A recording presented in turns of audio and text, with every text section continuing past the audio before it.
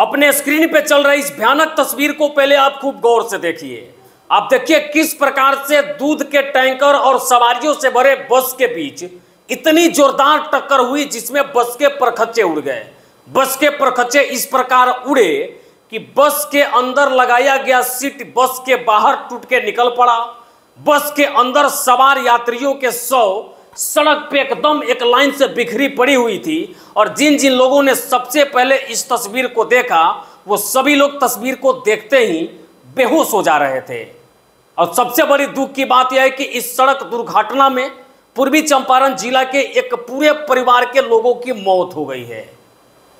अब ये कहानी मैं आपको बताऊँगा कि ये सब चीज़ हुआ कैसे, इतना भीषण सड़क दुर्घटना कैसे हो गया, ये पूरी कहानी आप विस्तार से समझिए। जिस बस के परखच्चे उड़े आप देख रहे हैं, ये बस शिवहर से दिल्ली के लिए रवाना हुई थी। शिवहर से जब खुली तो पूर्वी चंपारण जिला के फेरहारा के एक ही परिवार के आठ लोग इस बस में सवार होते हैं। सवार होने के बाद वे लोग बस से यात्रा करना शुरू कर देते हैं। बस चलने लगती है। रात्रि में ड्राइवर गाड़ी का स्पीड ज़्यादा कर देता है तो कई एक यात्रियों ने ड्राइवर को समझाने का प्रयास भी किया कि भाई साहब, आप गाड़ी आराम से चलाया कीजिए। लेकिन ड्राइवर किसी को सुनने को तैयार नहीं था। जब सुबह के पाँच बज रहे थे, सभी यात्री फराटेदार नींद ले रहे थे, तब उनको क्या पता था कि ये नींद जो है और ये मेरा बस में सोना मेरे ज़िंदगी का आखिरी सोने का समय हो जाएगा। समय ठीक पाँच बजते हैं, उसी समय दूध के एक टैंकर से उसको ओवरटेक करने के चक्कर में बस का ड्राइवर टैंकर को इतना जोरदार टक्कर मारता है कि टैंकर तो बीच हाईवे पे पलटता ही पलटता है। साथ में सवारियों से भरे इस बस के परखच्चे उड़ जाते हैं और उसमें एक के बाद एक करके टोटल 18 लोगों की ऑन द स्पॉट मौत हो जाती है। सड़क से लेकर के अस्पताल तक लाशें बिछी हुई थी। जिन जिन लोगों ने इस तस्वीर को देखा, वो खूब फूट फूट करके रोए। कुछ ऐसे भी लोग थे जो अपनों को ढूंढ रहे थे, लेकिन मिलने का कोई ये आता पता नहीं चल रहा था।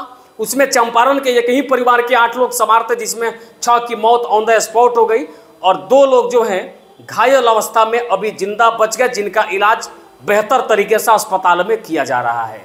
इस घटना की जानकारी जैसे उत्तर प्रदेश के मुख्यमंत्री के साथ, बिहार के मुख्यमंत्री और देश के प्रधानमंत्री को चला।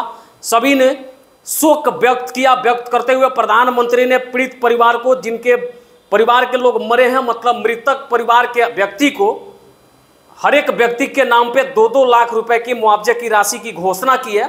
साथ में जो घायल हैं, उनका बेहतर इलाज हो सके, इसके लिए उनको पचास पचास हज़ार रुपये केंद्र सरकार के तरफ़ से आर्थिक मदद भी किया जा रहा है।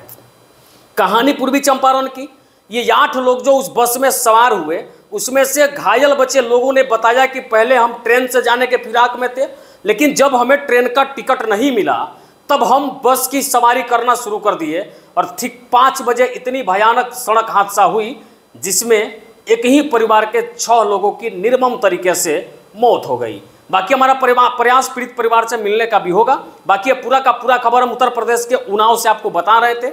उनाव में इस भीषण सड़क हादसे में टोटल 18 लोगों की अब तक जान जा चुकी है।